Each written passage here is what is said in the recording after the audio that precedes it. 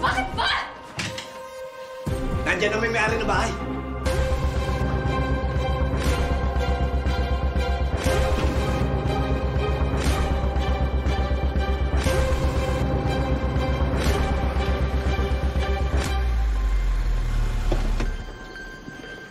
Ah, magandang gabi po, Kernel.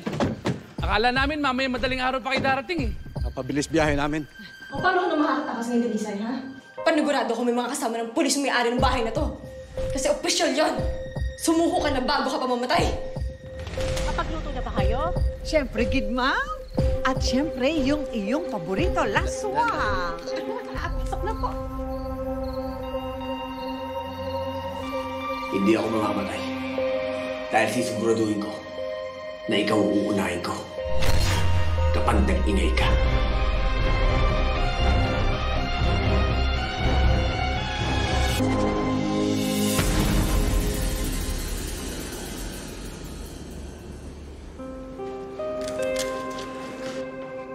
Ma'am, sir, mabuti pa ho, kumain muna kayo.